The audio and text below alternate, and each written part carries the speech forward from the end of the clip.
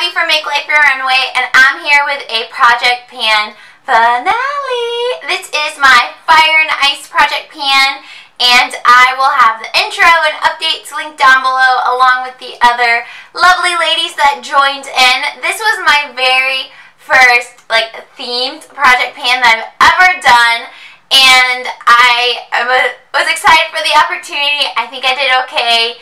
And yeah, I'm going to show you how it all turned out. So if this sounds like something you'd like to watch, then just keep watching. Here we go. Alright, where to start, where to start. So first, themed project pan. It's hard. Themed project pans are hard. I like to look at them for, uh, you know, it's products used, maybe not used up, but maybe more used than would have normally used if that makes sense. So the first up we're going to talk about is this palette. This is the NYX Avant Pop. This one is an Art Throb. I really enjoy the quality of these shadows. I've talked about this a lot. Um, I was trying to work with this orange shade and this white shade. I did talk about, I think in my second update, how I use this as a blush and this as a highlight, and I even had it on in that video. Uh, I I used them a little bit. There's like a tiny, tiny, tiniest dip in this orange one, and there's not really a dip in the white one, but you can see where I did use it.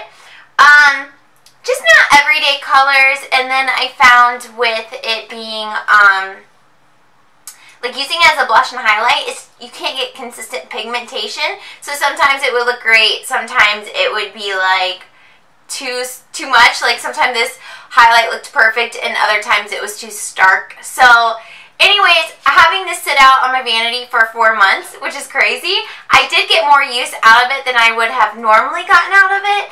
Um, especially like this burgundy color, there's a dip in it, you can see. So yeah, I really love this palette. I didn't get as much use in this project as I wanted to, but I'm still glad to have spent extra time with it.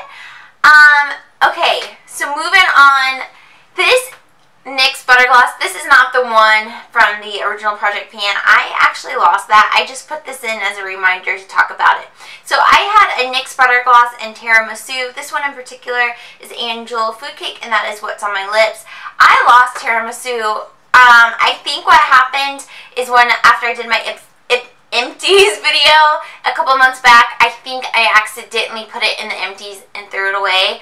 Um, if that's not what happened, I don't know, because I've checked all my purses and bags and can't find it.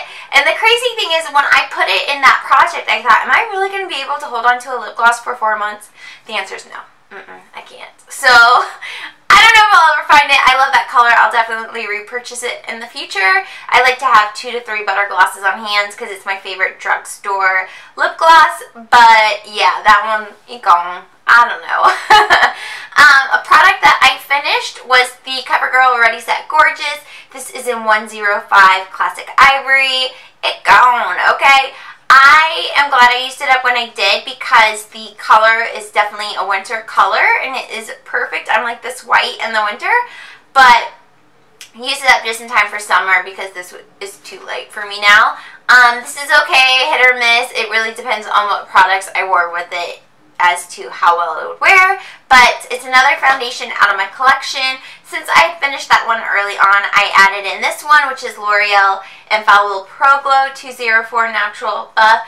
I am not wearing this today. Um, this is like a little dark for me, but I can make it work at this point. As you can see, it's not, there is not a lot left. Probably a third if I were to like squeeze it out see what's in there. I'm going to keep using this. It might not go into another project pan, but I would really like to keep using it and use it up within the next month or so because I'm not going to be this color for very much longer or be able to make this work for very much longer and it will be too old to keep it through winter and use it again next summer because it does have um, SPF and it is a, it expires 2018 04 2018 so this expires April of 2018 so yeah it will have gone bad by then, so I want to use it up while it is still my color and usable.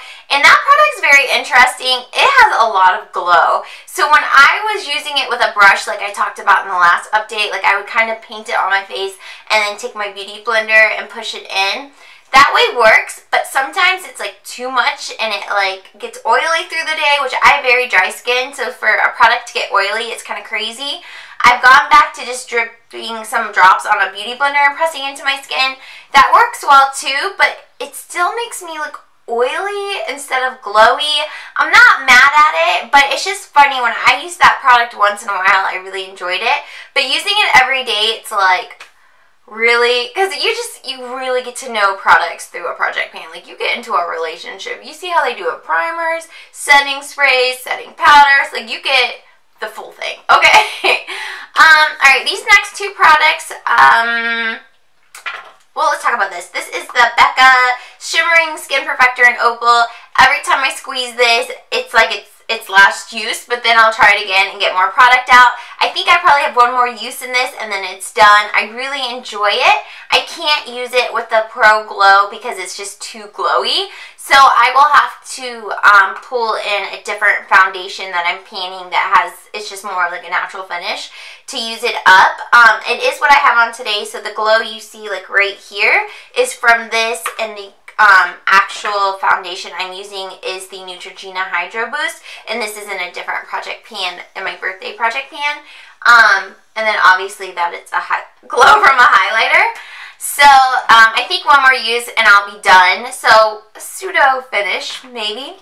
And then the very last thing, it's the same thing. This is the Urban Decay eyeshadow, eyeshadow primer potion. This one is an original. Same thing. Every time I like squeeze it, I think it's going to be its last try. And then I will open it again and I'll get more product out. So it feels like nothing's in there and I really have to work to get the product out. But yeah, I'm going to keep using it. I'm going to keep using all of these until they're gone. So they'll stay out on my vanity. Um, but I have been working through so much makeup through these project pans. I'm just like so excited. Like looking at this, I'm like, mm-hmm. I see you. Not wasted, but used. Okay? Anyways, thank you all for watching. Please go check out all the ladies down below. I have another theme project pan going on. It's called Justice League. I'll also have that link down below. Um, and then I have a non-themed two non-themed ones. I'm just getting crazy over here, okay? But anyways, thank you all for watching, and I'll see you in my next video. Bye!